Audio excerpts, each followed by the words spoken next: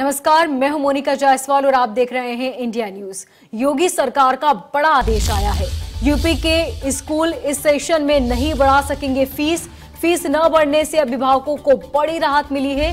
सभी बोर्डों के सभी विद्यालयों पर लागू होगा यह आदेश। बड़ी और अहम जानकारी, विद्यालय बंद रहने की अवधि में नहीं देना होगा परिवहन शुल्क। तो ये बड़ी और अहम जानकारी, योगी सरकार का ये बड़ा और राहत भरा फैसला सामने आया है। अब विद्यालय जब तक बंद रहेंगे, तब तक परिवहन फ़ीस अभिभावकों को नहीं देनी होगी।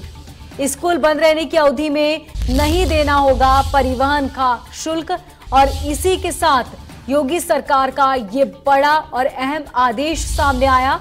आपको बता दें, यूपी के स्कूल अब नए सत्र में नहीं बढ़ा सकेंगे फ़ीस। जो भी नया सत्र अब होगा उसमें फ़ीस नहीं बढ़ाई जाएगी स्कूल की तरफ़ से।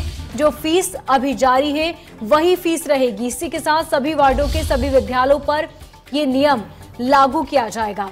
और विद्यालय बंद रहने तक परिवहन का शुल्क भी अभिभावकों से स्कूल नहीं ले सकता। इस फैसले के बाद अभिभावकों में खुशी नज़र आई, क्योंकि लगातार अभिभावक ये मांग कर रहे थे कि स्कूल बंद होने के बावजूद भी बहुत ज़्यादा फ़ीस वसूली जा रही है, जबकि पिछले डेढ़ सालों से स्कूल बंद है और बच्चे ऑनलाइन पढ़ाई कर रहे हैं। ऐसे में स्कूल द्वारा ज़्यादा फ़ीस लेना बिल्कुल गलत है, जिसके बाद योगी सरकार का ये बड़ा आदेश सामने आया। तो योगी सरकार का ये बड़ा और अहम फैसला यूपी के स्कूल अब नए सत्र में फ़ीस नहीं बढ़ा सकेंगे और इसी के साथ फ़ीस न बढ़ने से अभिभावकों को बड़ी राहत मिली है, क्योंकि लंबे वक्त से अभिभावक मांग कर रहे थे। सभी बोर्डों के सभी विद्यालयों पर यह नियम लागू होगा। इसके साथ ही विद्यालय बंद रहने पर परिवहन शुल्क भी अभिभावकों से स्कूल नहीं ले सकेगा। तो योगी सरकार का ये बड़ा और अहम आदेश सामने आया, जिसके बाद अभिभावकों ने राहत की सांस ली और इसी के चलते अब उनके जेब पर ज़्यादा खर्च भी नहीं पड़ेगा, क्योंकि लॉकडाउन है। ऐसे में कई लोग के पास नौकरी नहीं है या फिर जो रोज़मर्रा के काम करते हैं, उन लोगों के सामने रोजी रोटी का संकट है। ऐसे में योगी सरकार का ये फैसला वाकई बहुत अहम फैसला है। तो योगी सरकार ने आदेश जारी कर दिया है। अब यूपी के स्कूल नए सत्र में फ़ीस नहीं बढ़ा सकेंगे। फ़ीस न बढ़ने से अभिभावकों में खुशी है। इसी के साथ सभी बोर्डों के सभी विद्यालयों पर यह आदेश लागू होगा।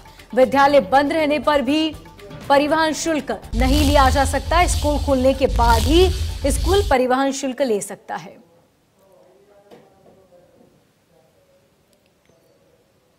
तो आपको बता दें, कोरोना का वक्त चल रहा है। ऐसे में यह बड़ा फैसला है। हमारे संवाददाता विजय मिश्रा हमारे साथ सीधे जुड़ चुके हैं। जी विजय लगातार बहुत समय से अभिभावक इस चीज़ की मांग कर रहे थे और आखिर ये आदेश आने के बाद अभिभावकों में ज़ाहिर सी बात है बहुत खुशी होगी।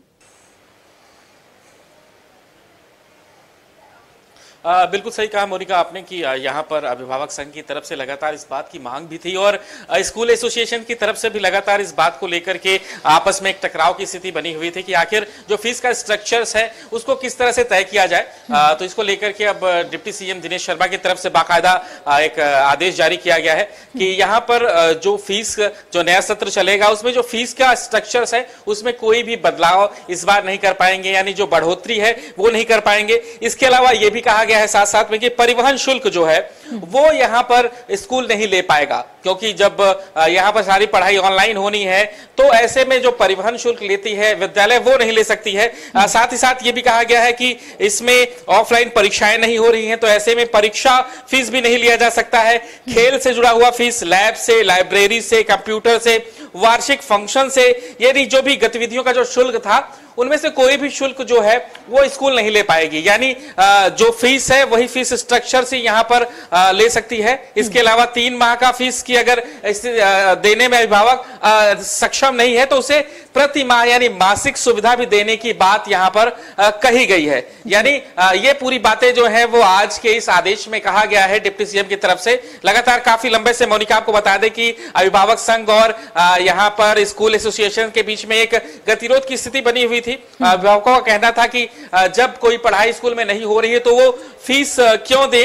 और ऐसे में स्कूल का कहना था कि यहाँ पर अगर पढ़ाई नहीं भी हो रही है लेकिन जो टीचर्स हमारे साथ जुड़े हुए हैं जो टीचर्स यहाँ पर है उनको भी महीने में हमें सैलरी देनी पड़ती है। तो ऐसे में फ़ीस अगर नहीं लेंगे तो सैलरी कैसे देंगे? तो ऐसे में इस पूरे गतिरोध को देखते हुए ये बीच का रास्ता जो है वो निकाला गया है जिसमें फ़ीस बढ़ोतरी को लेकर के साफ़ कहा गया है कि फ़ीस बढ़ोतरी नहीं की जाएगी। और इसके अलावा जो अन्य शुल्क लिए जाते थे उस पर भी रोक लगाई गई है। और पिछले साल जो फ़ीस थी वही फ़ीस अब यहाँ पर अभिभावकों को देनी पड़ेगी। अगर वो तीन महीने का एक साथ नहीं दे सकते हैं तो प्रतिमा यानी मासिक तरीके से भी वो फ़ीस को जमा कर सकते हैं। जी, विजय, ये आदेश कब से लागू हो जाएगा?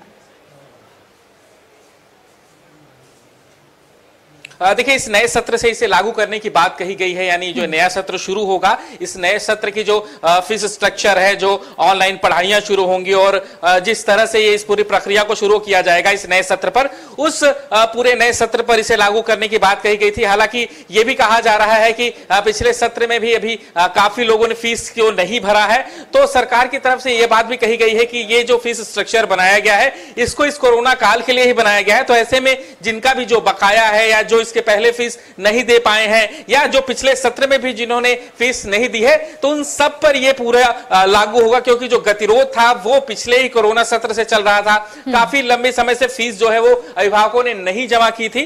तो ऐसे में इस पूरे स्ट्रक्चर्स को यानी कोरोना स्ट्रक्चर के समय में इस पूरे नए नियम को लागू किया जाएगा। विजय इसी के अलावा अभिभावकों ने यह भी कहा था कि हमें जो जो तीन महीने की छुट्टियाँ होती हैं उसकी फ़ीस भी इंक्लूड की जाती है स्कूल की तरफ़ से जबकि छुट्टियों में फ़ीस लेना गलत है। इसको लेकर क्या कुछ अब नए जो बताए हैं आदेश उसमें बदलाव होगा? देखिए मोनिका जो पिछले जिस तरह से जिस तरह विजय विजय विजय माफ़ कीजिएगा आपको रोकना चाहूँगी। आप बने रहे हमारे साथ। जल्दी लौटेंगे आपके पास। डिप्टी सीएम दिनेश शर्मा भी हमारे साथ जुड़े हुए हैं। दिनेश जी ये बताएँ कि जो नया आदेश है उसके मुताबिक क्या कुछ नया होगा अब? देखिए जो वर्ष 2019-20 में यानी आज से दो साल पहले हम्म। जो शुल्क की संरचना थी उसी शुल्क संरचना के आधार पर वर्ष 2021-22 में भी शुल्क लिया जाएगा। यानी शुल्क वृद्धि ना तो पिछले वर्ष करने की अनुमति दी गई थी ना इस वर्ष करने की अनुमति दी जा रही है। अगर किसी विद्यालय के द्वारा बढ़ा हुआ शुल्क बढ़ा के कोई शुल्क लिया गया होगा हम्म। तो उस बढ़े हुए शुल्क को भविष्य में जो दी जाने वाली किस्तें हैं शुल्क की उनमें समायोजित किया जाएगा। इसके साथ ही जो कर्मचारी हैं जो शिक्षक हैं उनके वेतन को विद्यालय सुनिश्चित करेंगे। जी।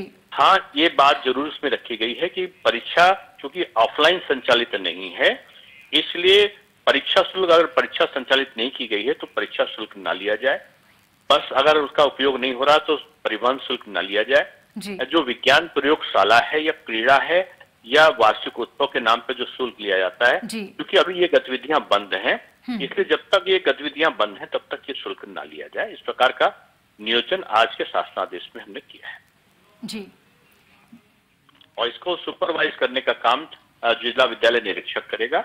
अगर कोई शिकायत शुल्क के संदर्भ में होगी तो जो हमारे शुल्क नियामक समिति बनी हुई है जिलों में जिलाधिकारी की अध्यक्षता में।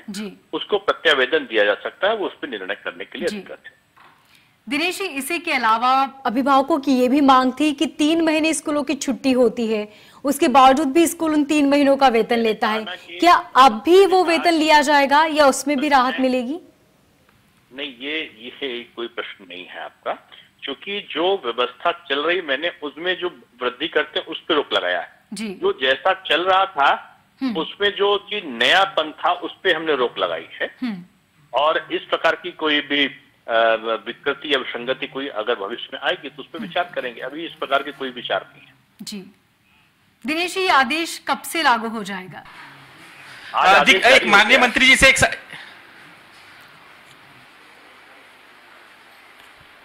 और हमारे साथ हमारे सहयोगी विजय भी जी मोनिका एक सवाल है मेरा दिनेश जी से। एक छोटा सा सवाल है। आप आप एंकर सर ये जो अतिरिक्त शुल्क लिया जाता था जो लैब शुल्क रहता था या जो लाइब्रेरी शुल्क रहता था और जो अन्य खेल शुल्क और या परिवहन शुल्क था क्या वो शुल्क लिया जाएगा? मैंने इसको स्पष्ट किया शासनादेश में भी और प्रश्न नोट में भी मेरे स्पष्ट है कि जब तक इनका उपयोग नहीं हो रहा है, यानी मानो एक महीने प्रयोग नहीं किया बस का तो एक महीने का शुल्क नहीं लेंगे परिवहन का। अगर एक महीने कोई परीक्षा का संचालन नहीं हुआ दो महीने का तो उनका परीक्षा का शुल्क नहीं लेंगे। क्रीड़ा अगर नहीं कराई गई जिस माह में, उस माह का क्रीड़ा शुल्क नहीं लेंगे।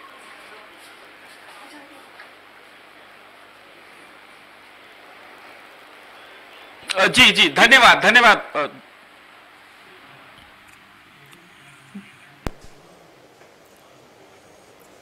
जी दिनेश जी, इन तमाम जानकारी के लिए आपका बहुत शुक्रिया। और वाकई ये बेहद सराहनीय कदम है, क्योंकि अभिभावक लंबे समय से ये मांग कर रहे हैं। और कोरोना के दौर में कई ऐसे अभिभावक हैं जो अपने बच्चों की फ़ीस भी बड़ी मुश्किल से जुटा पा रहे हैं। ऐसे में ये बेहद ही अहम आदेश योगी सरकार की तरफ़ से आया है। जी विजय।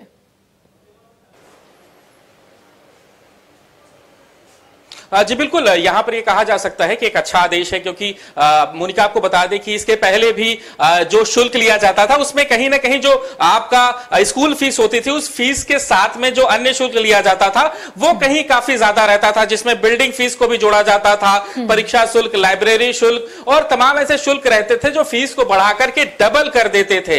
यानी अगर आप छह सौ रुपए स्कूल फ़ीस दे रहे हैं तो करीब बारह सौ रुपए आप अन्य शुल्क देते रहते थे तो ऐसे में इससे एक बड़ी बड़ी राहत जो है वो कम से कम परिजनों को मिलेगी जो अभिभावक हैं उनको मिलेगी। आ, लेकिन कहीं ना कहीं स्कूल की भी मजबूरी है उन्हें भी हर माह अपने शिक्षकों को वेतन देना है।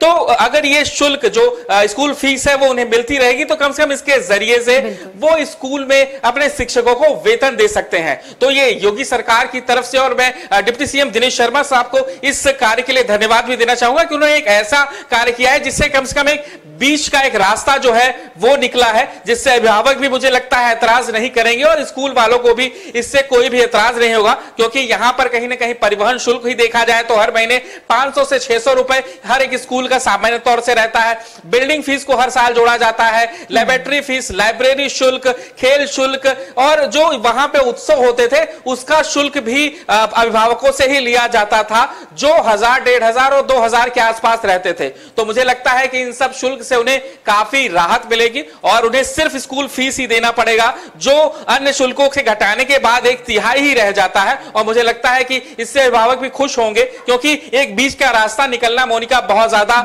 ज़रूरी था क्योंकि यहाँ पर एकदम से फ़ीस न देना कहीं ना कहीं स्कूलों के लिए भी काफ़ी ज़्यादा मुश्किल खड़ी कर सकता था। तो ऐसे में ये जो बीच का रास्ता सरकार ने निकाला है वो कहीं ना कहीं दोनों तरफ़ राहत देने वाला है।